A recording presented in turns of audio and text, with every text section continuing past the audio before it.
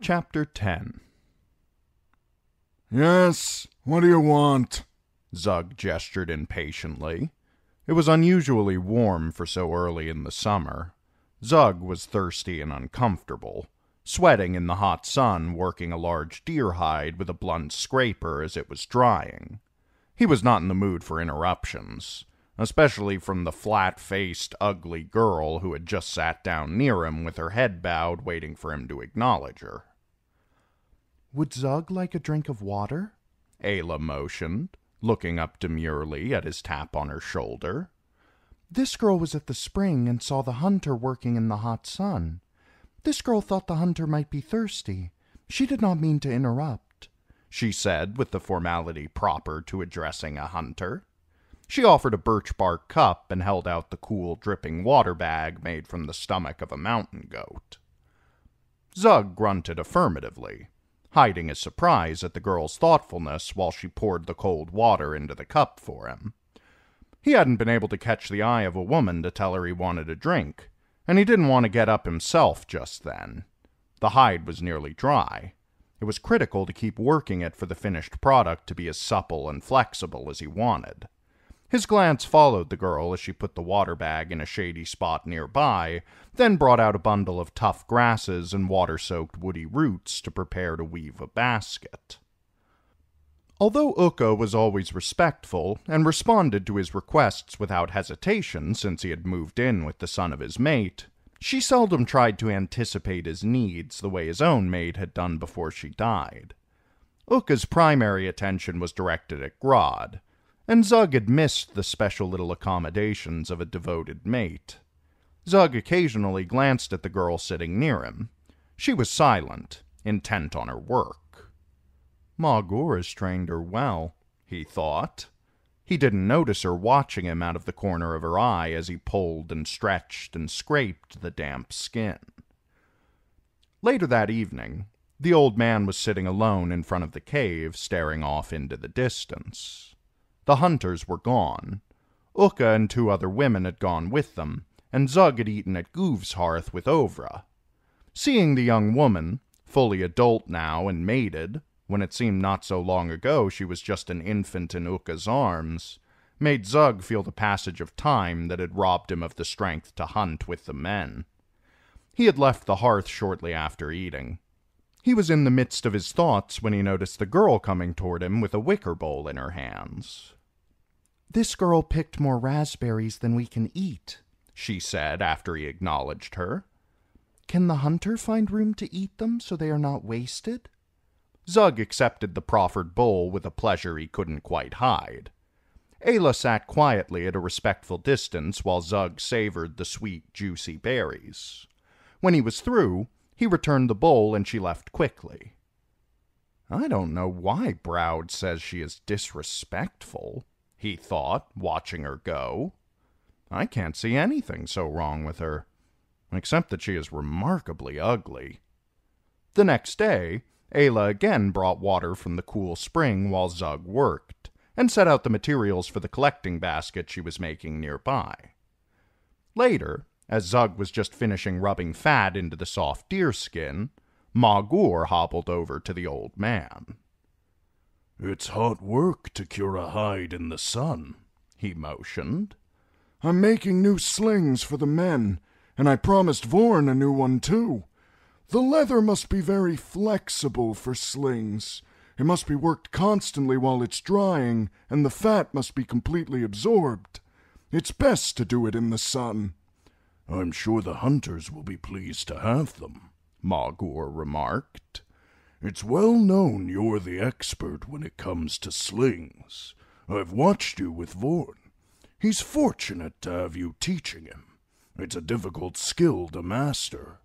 There must be an art to making them, too. Zoug beamed under the magician's praise. Tomorrow I will cut them out. I know the sizes for the men, but I'll have to fit Vorn to his. A sling must suit the arm for best accuracy and power. Iza and Ayla are preparing the ptarmigan you brought the other day as Mog-ur's share. Iza is teaching the girl to cook them the way I like. Would you take your meal at Mog-ur's hearth tonight? Ayla wanted me to ask, and I would be happy for your company.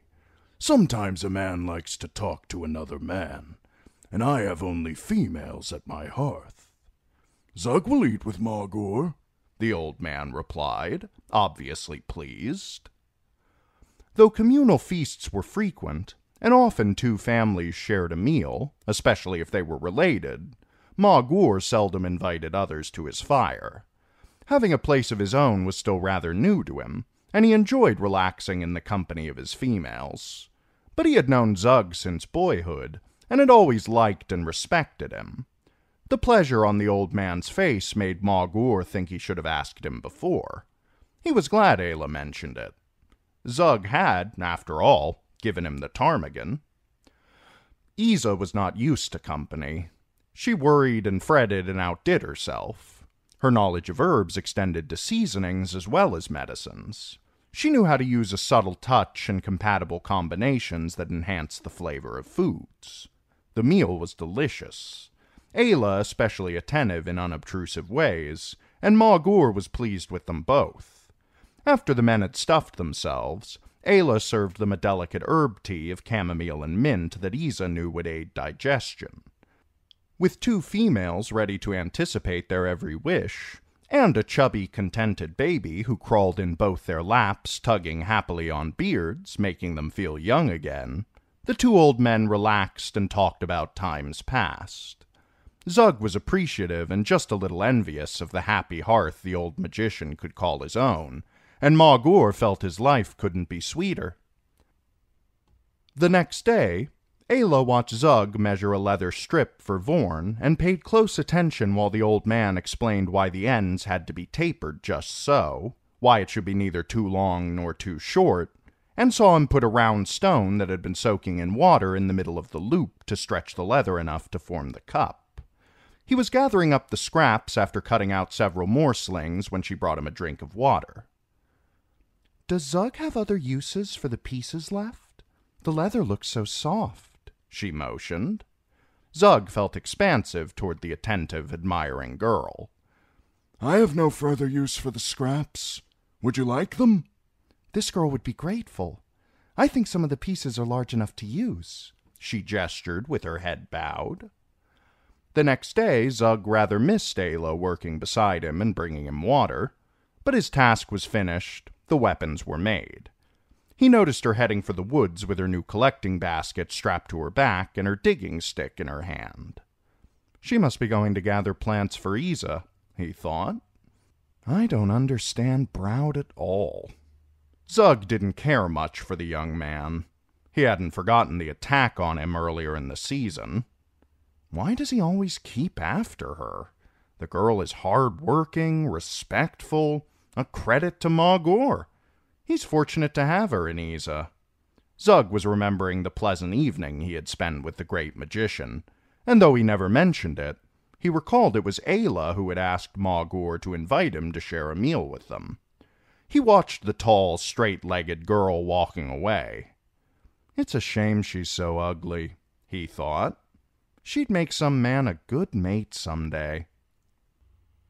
After Ayla made herself a new sling out of Zoug's scraps to replace the old one that had finally worn out, she decided to look for a place to practice away from the cave.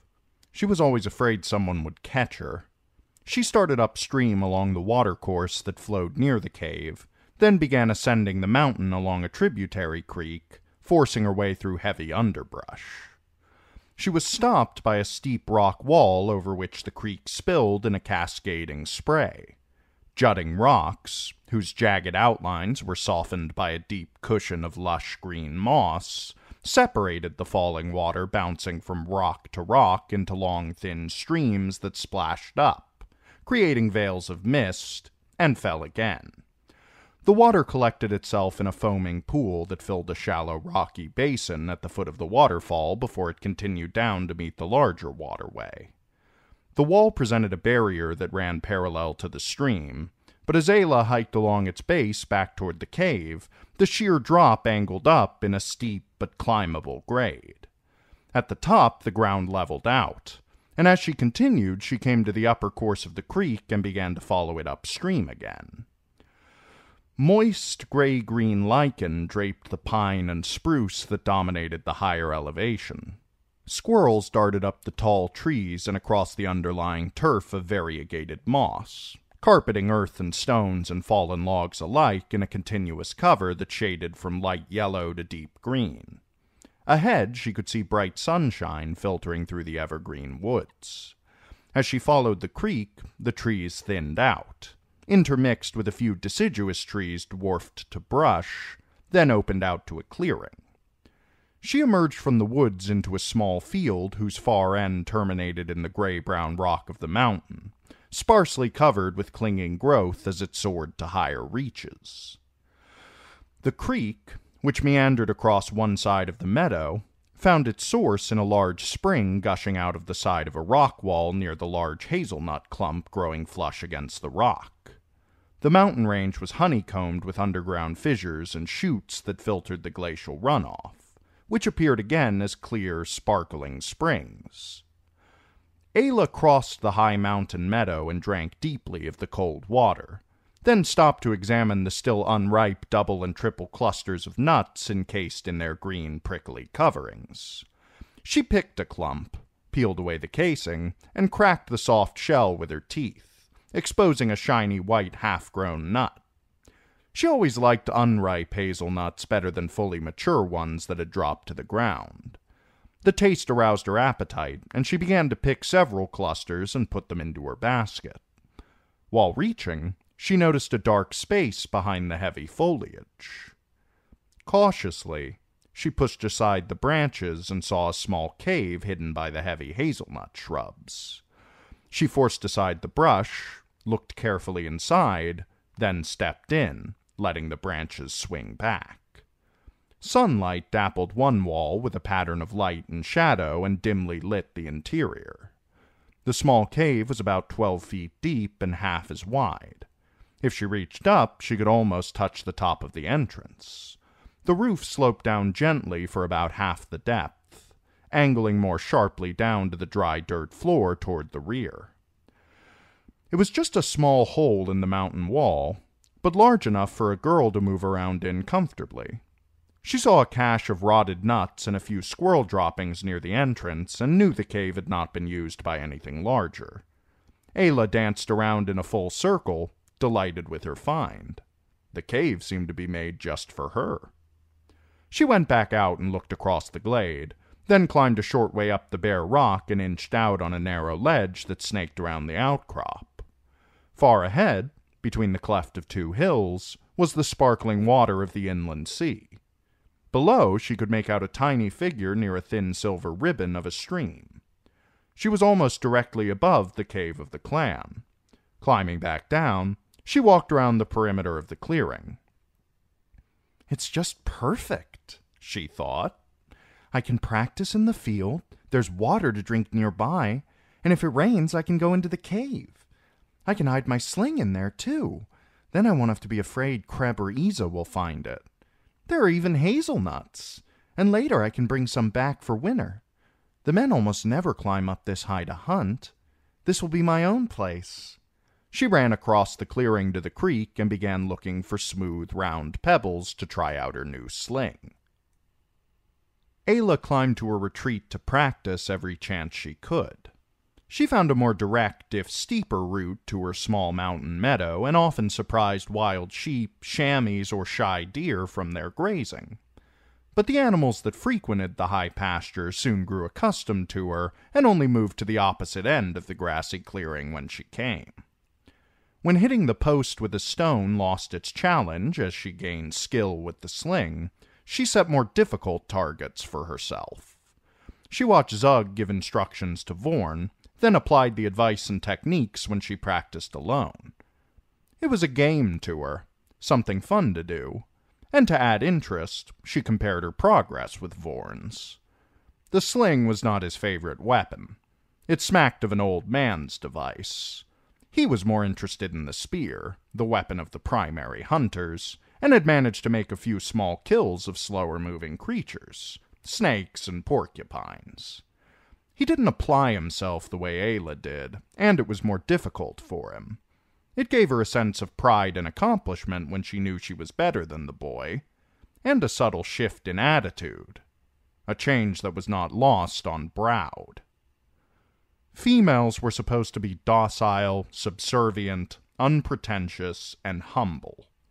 The domineering young man took it as a personal affront that she didn't cower a little when he came near. It threatened his masculinity. He watched her, trying to see what was different about her, and was quick to cuff just to see a fleeting look of fear in her eyes or to make her cringe. Ayla tried to respond properly, did everything he commanded as quickly as she could.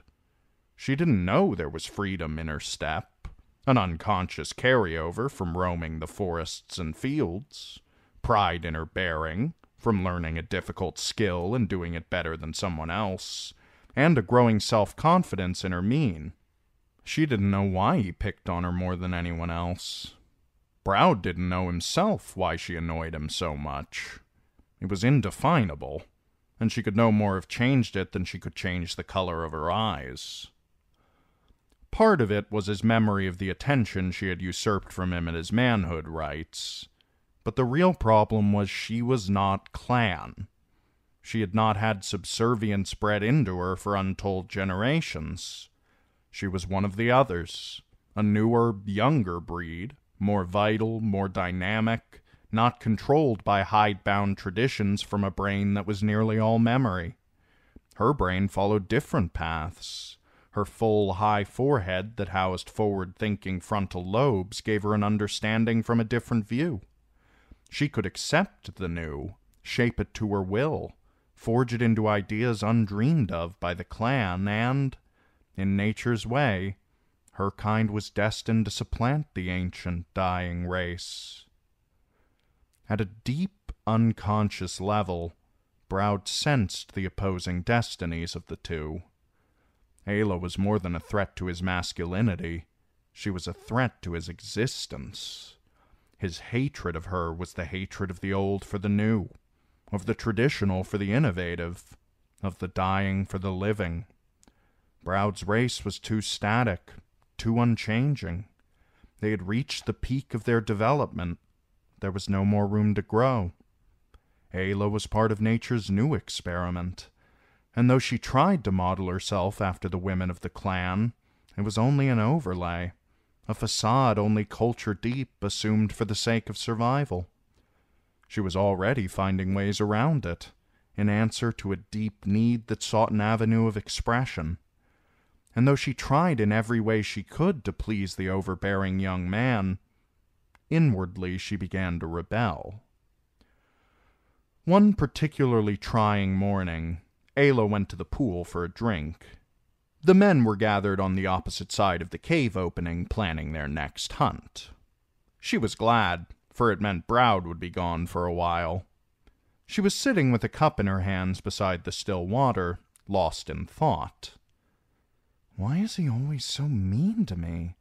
Why does he always pick on me? I work as hard as anyone else. I do everything he wants. What good does it do to try so hard?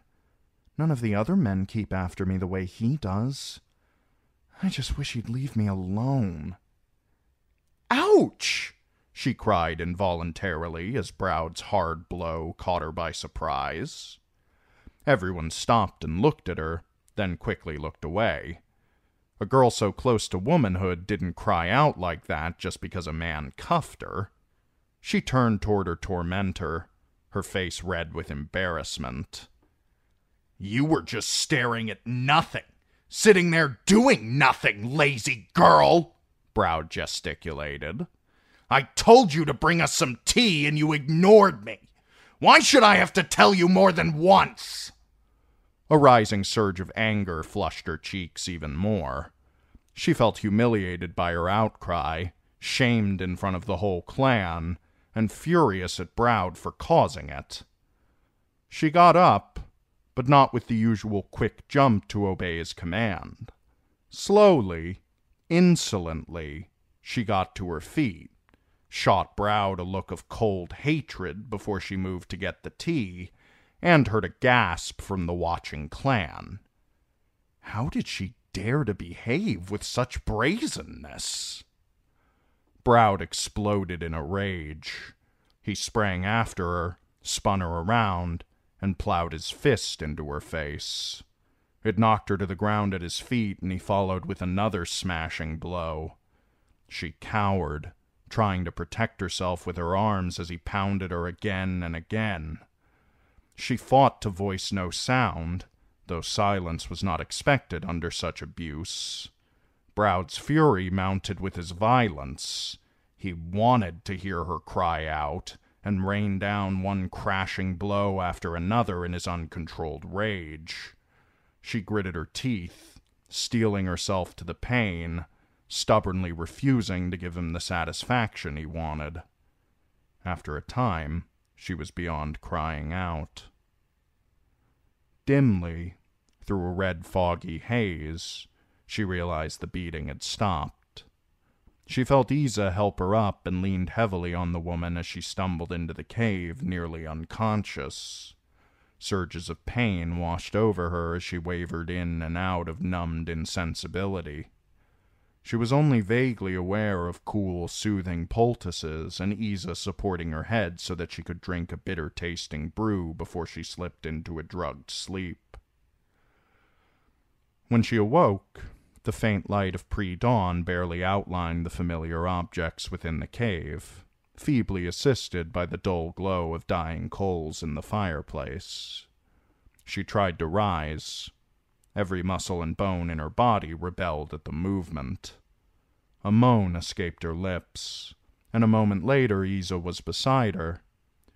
The woman's eyes spoke eloquently.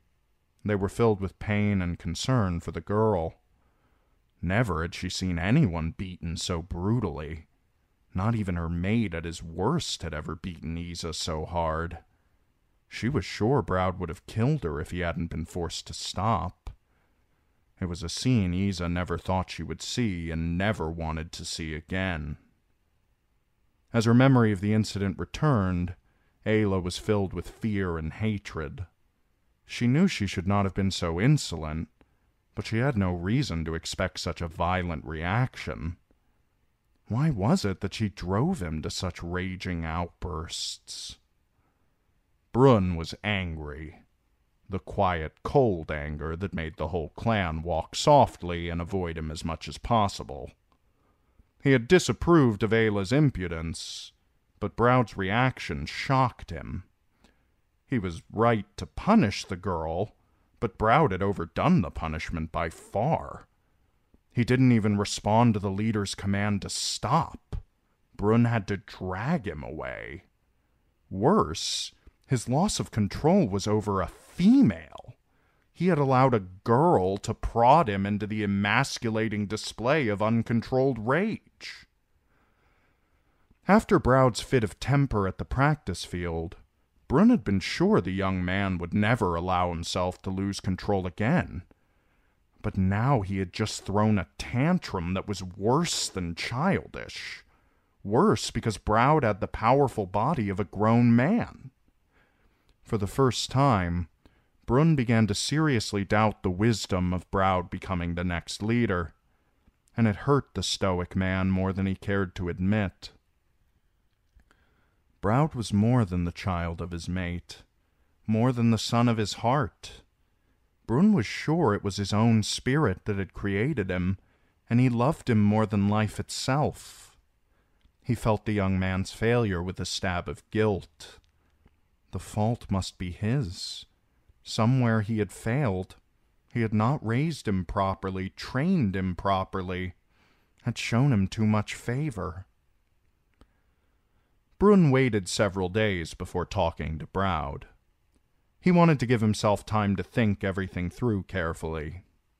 Broud spent the time in a state of nervous agitation, hardly leaving his hearth, and it was almost a relief when Brun finally signaled him though his heart beat with trepidation as he followed behind Brun. There was nothing in the world he feared so much as Brun's anger, but it was Brun's very lack of anger that brought his message home. In simple gestures and quiet tones, Brun told Broud exactly what he had been thinking. He took the blame for Broud's failures, and the young man felt more shame than he ever had in his life. He was made to understand Brun's love and his anguish in a way he had not known before. Here was not the proud leader Broud had always respected and feared. Here was a man who loved him and was deeply disappointed in him. Broud was filled with remorse. Then Broud saw a hard look of resolution in Brun's eyes. It nearly broke Brun's heart, but the interests of the clan must come first. One more outburst, Broud. Just one more hint of such a display, and you are no longer the son of my mate. It is your place to follow me as leader, but before I will entrust the clan to a man with no self control, I will disown you and have you cursed with death. No emotion showed on the leader's face as he continued. Until I see some sign that you are a man, there is no hope that you are capable of leadership. I will be watching you, but I will be watching the other hunters too. I will have to see more than just no outward displays of temper. I will have to know you are a man, Broud.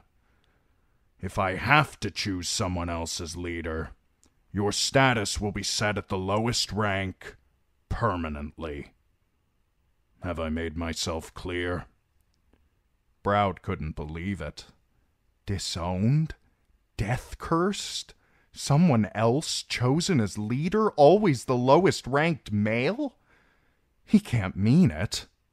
But Brun's set jaw and hard look of determination left no doubt. Yes, Brun. Broud nodded. His face was ashen. We will say nothing of this to the others. Such a change will be difficult for them to accept, and I don't want to cause unnecessary concern. But have no doubt I will do as I say. A leader must always put the clan's interests before his own. It is the first thing you must learn. That is why self control is so essential to a leader. The clan's survival is his responsibility. A leader has less freedom than a woman, Broud. He must do many things he may not want to. If necessary, he must even disown the son of his mate. Do you understand?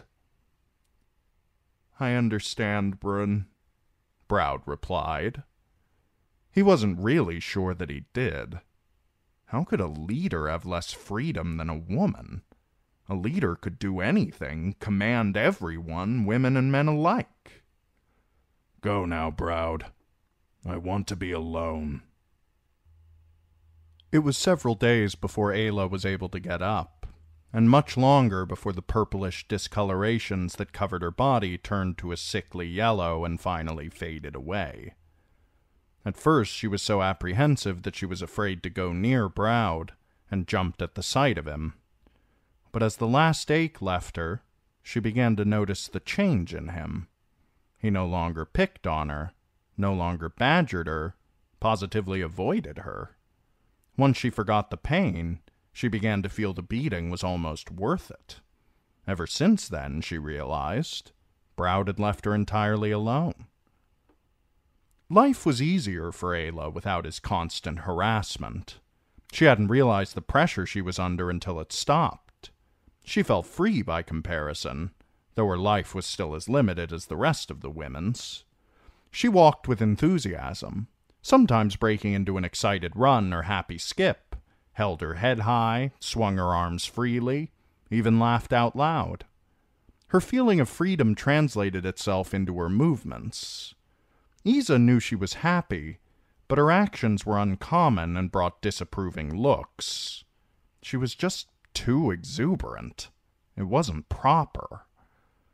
Broud's avoidance of her was obvious to the clan, too, and the subject of speculation and wonder. From casual notice of gestured conversations, Ayla began to piece together a notion that Brun had threatened Broud with dire consequences if he hit her again, and she became convinced when the young man ignored her even when she provoked him. She was just a little careless at first, allowing her natural inclinations a freer rein, but then she began a purposeful campaign of subtle insolence. Not the brazen disrespect that had caused the beating, but small things petty tricks calculated to annoy him. She hated him, wanted to get back at him, and felt protected by Brun. It was a small clan, and as much as he tried to avoid her, in the course of the clan's normal interactions there were occasions when Broud had to tell her what to do. She made a point of being slower to respond to him.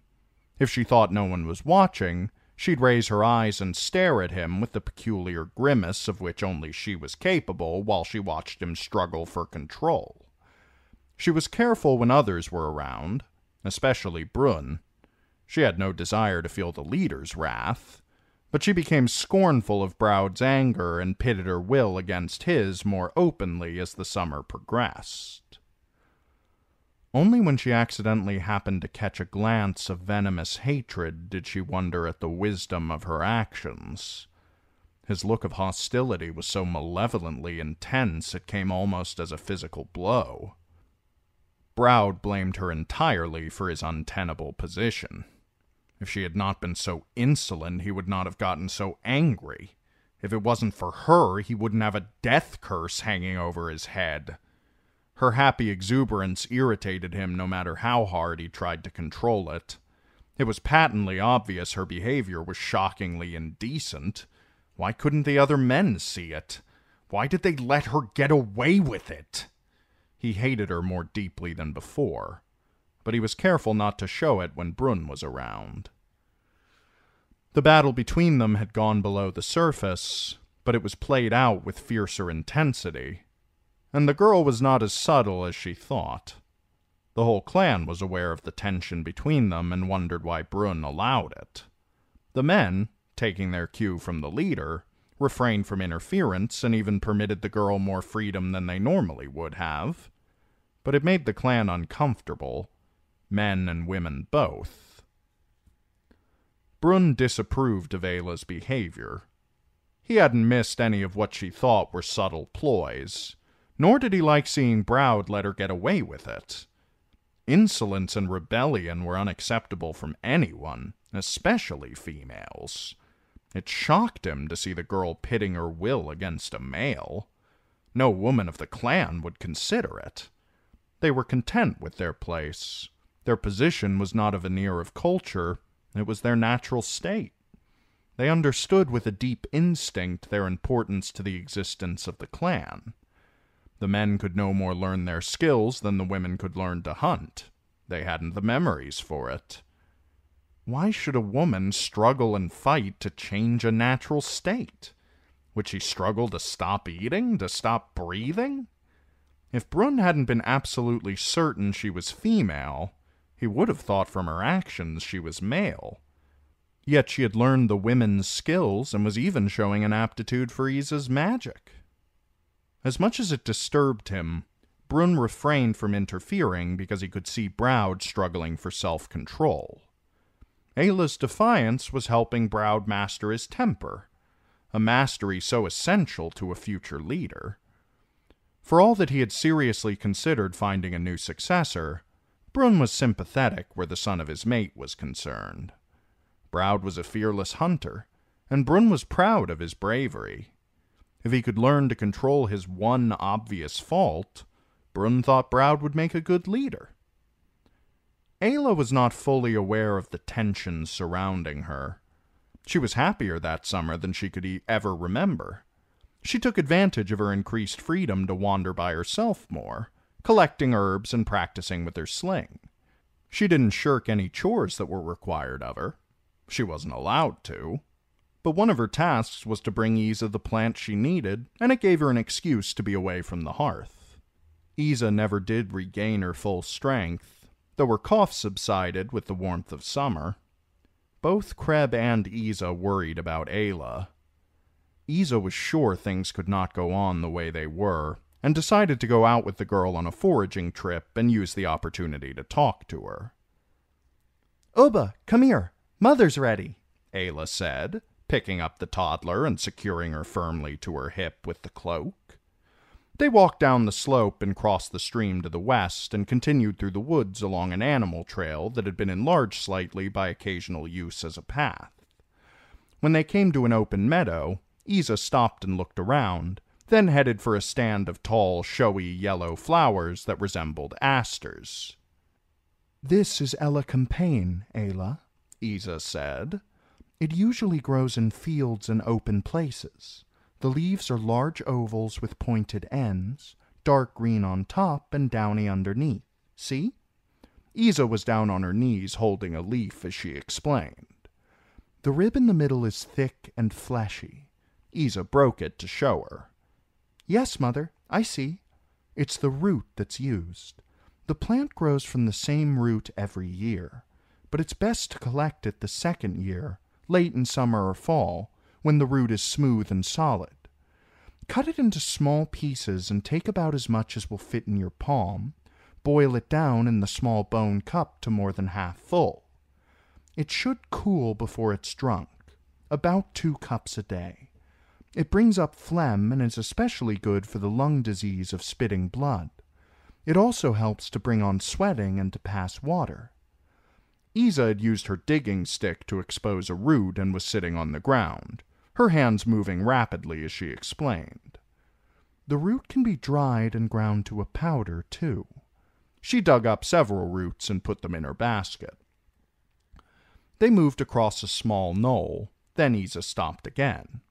Uba had fallen asleep, secure in her comfortable closeness. See that little plant with the funnel shaped yellowish flowers, purple in the middle? Iza pointed to another plant. Ayla touched a foot high plant. These? Yes, that's henbane. Very useful to a medicine woman, but should never be eaten. It can be dangerously poisonous if used as food. What part is used? The root? Many parts. Roots, leaves, seeds. The leaves are larger than the flowers, grow one after the other on alternate sides of the stem. Pay close attention, Ayla. The leaves are a dull pale green with spiky edges. And see the long hairs growing along the middle? Iza touched the fine hairs while Ayla looked closely. Then the medicine woman picked a leaf and bruised it. Smell, she instructed. Ayla sniffed. The leaf had a strong narcotic odor. The smell goes away after it's dried. Later there will be many small brown seeds. Iza dug down and pulled out a thick yam-shaped corrugated root with a brown skin. The white inner color showed where it had broken. The different parts are used for different things, but all of them are good for pain. It can be made into a tea and drunk. It's very strong doesn't take much, or into a wash and applied on the skin. It stops muscle spasms, calms and relaxes, brings sleep. Iza gathered several plants, then walked to a nearby stand of brilliant hollyhocks and picked several of the rose, purple, white, and yellow blossoms from the tall, simple stems. Hollyhocks are good for soothing irritation, sore throats, scrapes, scratches. The flowers make a drink that can ease pain, but it makes a person sleepy. The root is good for wounds. I used hollyhock roots on your leg, Ayla. The girl reached down and felt the four parallel scars on her thigh, and thought suddenly about where she'd be now if it weren't for Iza. They walked along together for a while, enjoying the warm sun and the warmth of each other's company without talking but Iza's eye was constantly scanning the area. The chest-high grass of the open field was golden and gone to seed. The woman looked across the field of grain, tops bent with their heavy load of mature seeds, undulating gently in the warm breeze.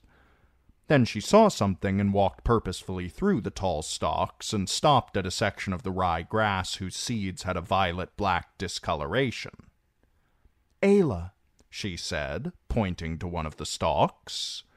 This is not the way rye grass normally grows. It is a sickness of the seeds, but we are lucky to find it. It's called ergot.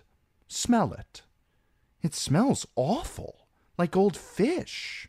But there's magic in those six seeds that's especially helpful for pregnant women. If a woman is a long time in labor, it can help bring the baby faster. It causes contractions. It can start labor, too.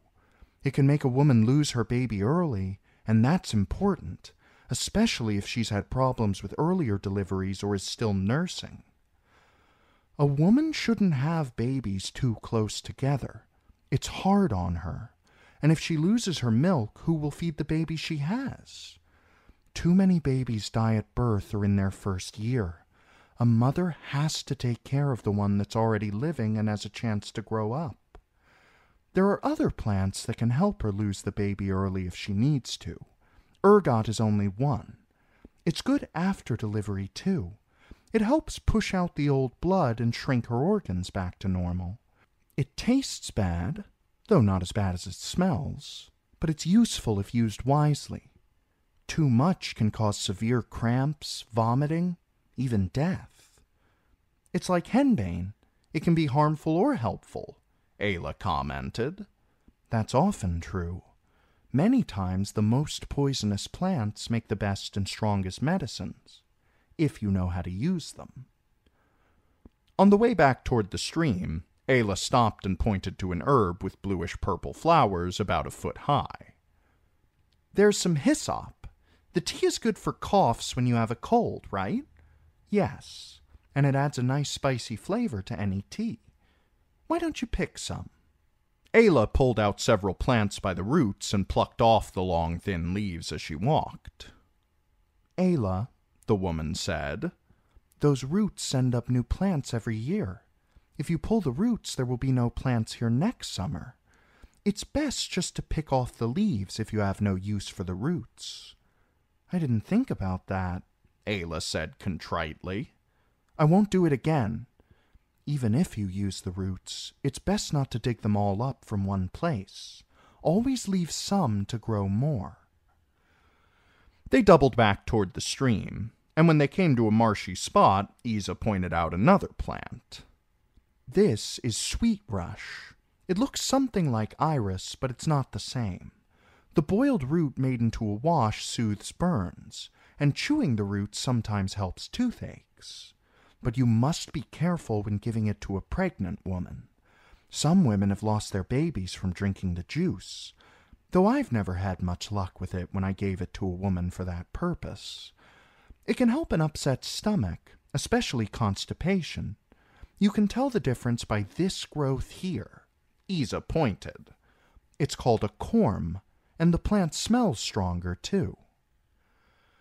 They stopped and rested in the shade of a broad-leafed maple near the stream. Ayla took a leaf, curled it into the shape of a cornucopia, folded up the bottom and tucked it under her thumb, then dipped up a cool drink from the stream. She brought a drink for Iza in the makeshift cup before throwing it away. Ayla, the woman began after finishing the drink. You should do as Broud tells you, you know. He is a man. It's his right to command you. I do everything he tells me, she countered defensively. Iza shook her head. But you don't do it the way you should. You defy him. You provoke him. Some day you may regret it, Ayla. Broud will be leader one day. You must do what the men say. All the men. You are a woman. You have no choice.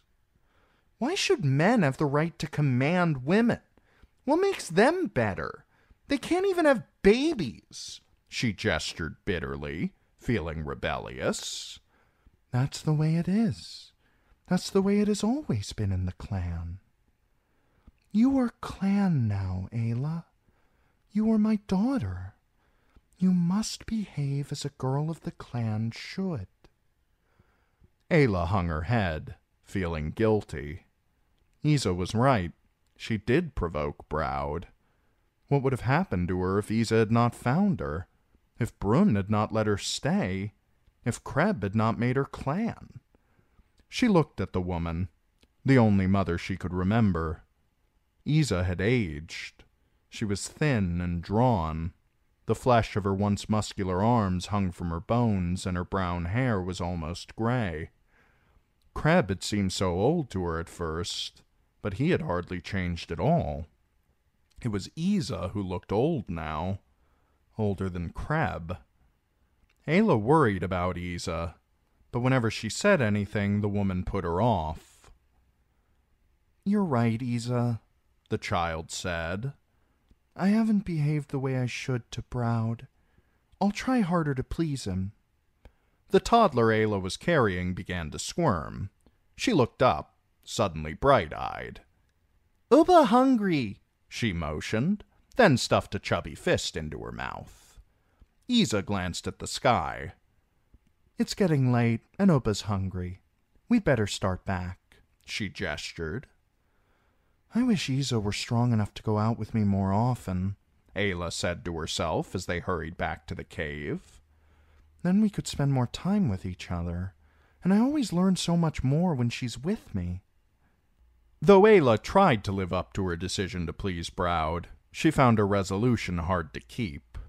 She had fallen into the habit of not paying attention to him, knowing he would turn to someone else or do it himself if she didn't move quickly.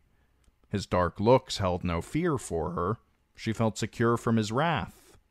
She did stop trying to provoke him on purpose, but her impertinence had become a habit too. For too long had she looked up at him instead of bowing her head, ignoring him instead of scurrying to do his bidding. It was automatic.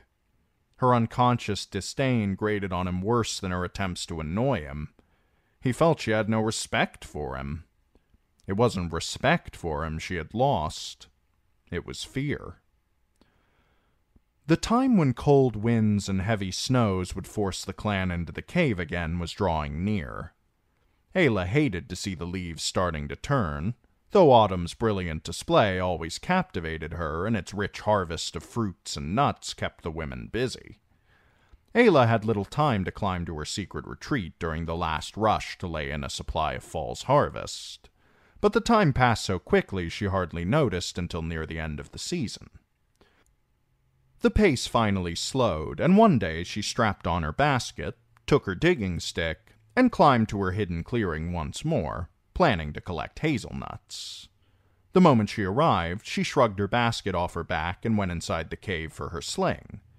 She had furnished her playhouse with a few implements she had made and an old sleeping fur. She took a birch bark cup from a flattish piece of wood stretched across two large rocks that also held a few shell dishes, a flint knife, and some rocks she used to crack nuts. Then she got her sling from the covered wicker basket where she kept it. After getting a drink from the spring, she ran along the creek looking for pebbles. She made a few practice shots. Vorn doesn't hit his targets as often as I do, she thought pleased with herself when her stones landed where she aimed them. After a while, she grew tired of the sport, put her sling and the last few pebbles away, and began to pick up the nuts scattered on the ground beneath the thick, gnarled old bushes. She was thinking how wonderful life was. Uba was growing and thriving, and Iza seemed much better. Creb's aches and pains were always less severe in the warm summers, and she loved the slow, shambling walks with him beside the stream.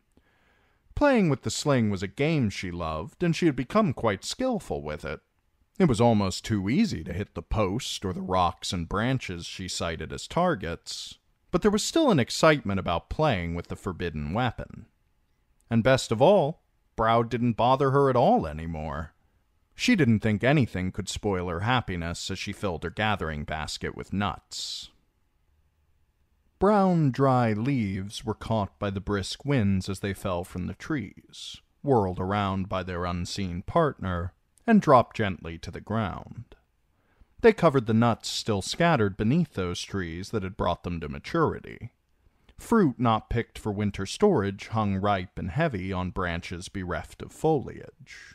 The eastern steppes were a golden sea of grain, rippled by wind in imitation of the foam bedecked waves of gray water to the south, and the last of the sweet clusters of plump round grapes, bursting with juice, beckoned to be picked. The men were in their usual knot, planning one of the last hunting trips of the season. They had been discussing the proposed trek since early morning, and Broud had been sent to tell a woman to bring them water to drink.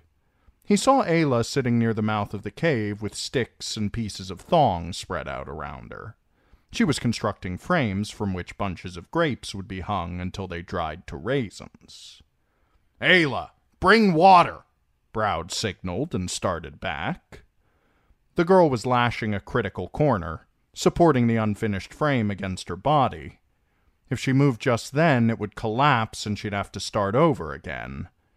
She hesitated, looked to see if another woman was nearby, then, heaving a sigh of reluctance, got up slowly and went to find a large water bag.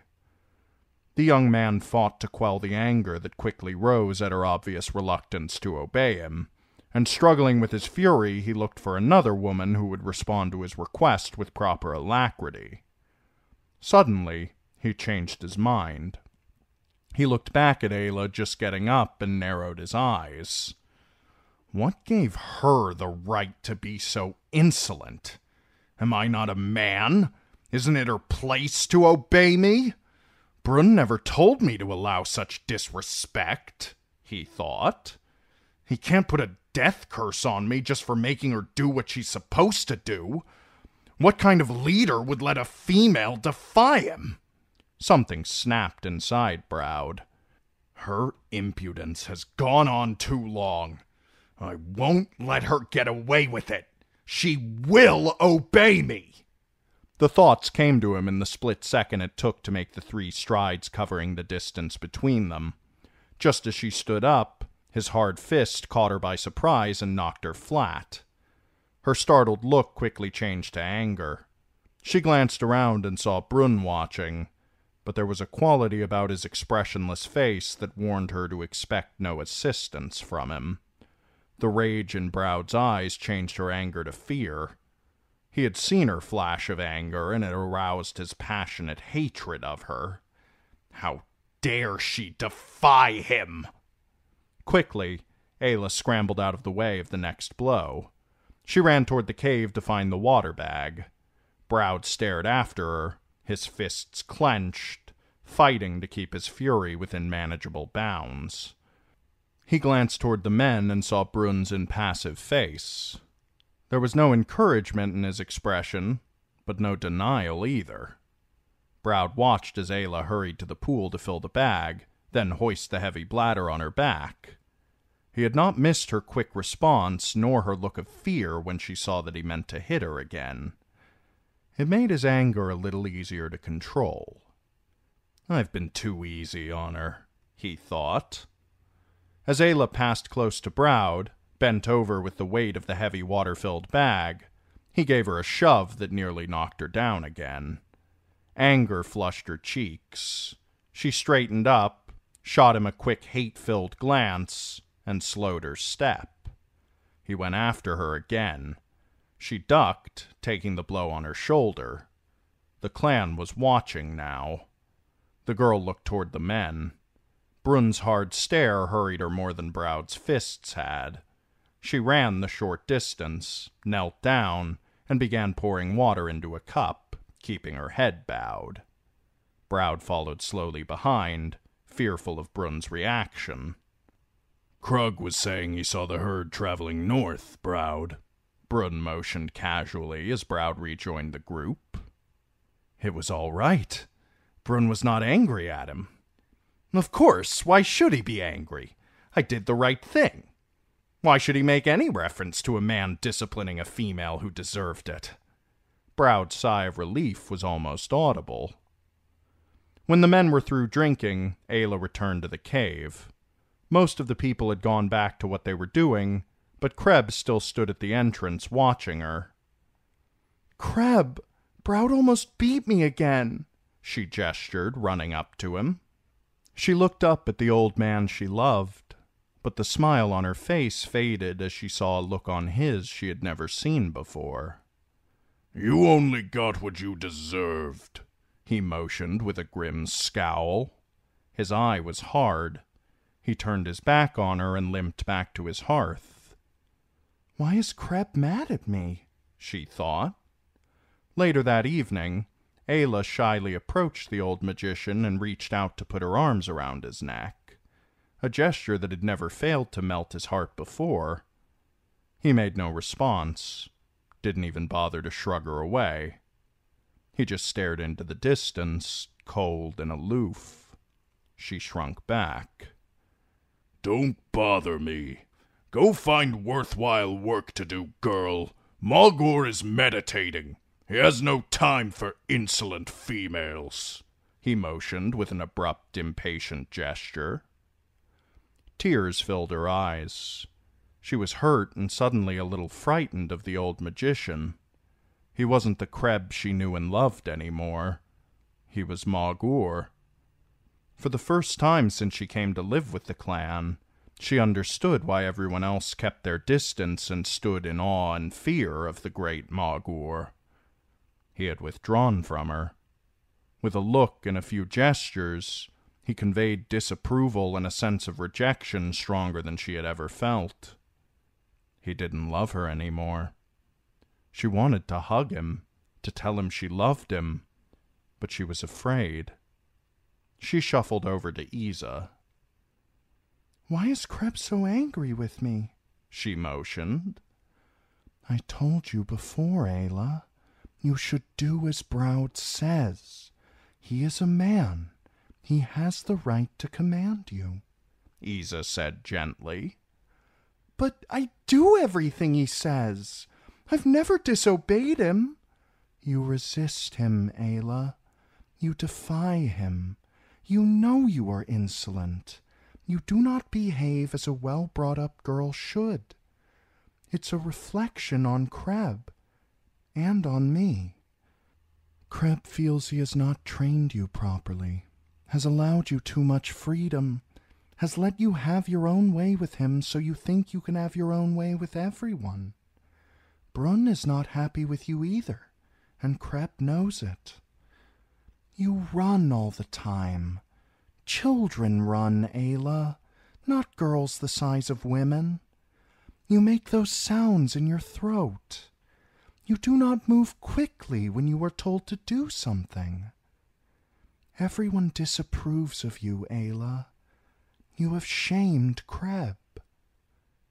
I didn't know I was so bad, Iza. Ayla gestured. I did not want to be bad. I just didn't think about it. But you should think about it. You're too big to behave like a child.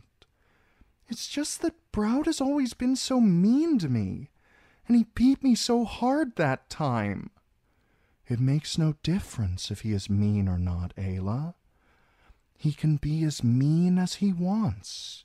It's his right. He's a man. He can beat you any time he wants, as hard as he wants. He will be leader some day, Ayla. You must obey him. You must do just as he says when he says it. You have no choice, Iza explained. She looked at the stricken face of the child. Why is it so hard for her? she wondered. Iza felt a sadness and sympathy for the girl who had such difficulty accepting the facts of life. It's late, Ayla. Go to bed. Ayla went to her sleeping place, but it was a long time before she went to sleep. She tossed and turned and slept badly when sleep did finally overcome her.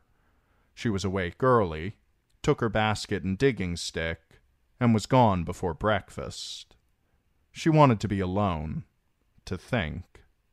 She climbed to her secret meadow and got her sling, but she didn't feel much like practicing. It's all Broud's fault, she thought. Why does he always pick on me? What did I ever do to him? He never has liked me. So what if he's a man? What makes men better? I don't care if he's going to be leader. He's not so great. He's not even as good as Zoug with this sling. I could be as good as he is. I'm already better than Vorn. He misses a lot more than I do. Broud probably does too. He missed when he was showing off for Vorn. Angrily, she started slinging stones. One bounced into a copse of bushes and flushed a sleepy porcupine from his hole. The small nocturnal animals were seldom hunted. Everyone made a big thing about Vorn killing a porcupine, she thought. I could too if I wanted to. The animal was ambling up a sandy hill near the creek, quills extended. Ayla fitted a stone into the bulge of her leather sling, took aim, and fired the stone. The slow moving porcupine was an easy target. It dropped to the ground. Ayla ran toward the creature, pleased with herself. But when she touched it, she realized the porcupine wasn't dead, only stunned. She felt his beating heart and saw the blood trickling from the wound on his head and had a sudden impulse to bring the small animal back to the cave to heal him, as she had done with so many wounded creatures. She wasn't pleased any more. She felt terrible. Why did I hurt him? I didn't want to hurt him, she thought. I can't bring him back to the cave. Iza would know right away he was hit with a stone.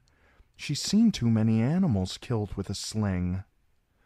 The child stared at the wounded animal. I can't ever hunt, she realized. Even if I killed an animal, I could never bring it back to the cave. What good is all this practicing with a sling? If Creb is mad at me now, what would he do if he knew? What would Brun do? I'm not even supposed to touch a weapon, much less use one. Would Brun make me go away? Ayla was overcome with guilt and fear. Where would I go? I can't leave Iza and Creb and Uba. Who would take care of me? I don't want to leave, she thought, bursting into tears. I've been bad. I've been so bad, and Creb is so mad at me. I love him. I don't want him to hate me. Oh, why is he so mad at me? Tears streamed down the unhappy girl's face. She lay down on the ground, sobbing her misery. When she had cried herself out, she sat up and wiped her nose with the back of her hand, her shoulders shaking with renewed sobs every now and then. I won't be bad any more. Ever. Oh, I'll be so good. I'll do whatever Broud wants no matter what. And I won't ever touch a sling again.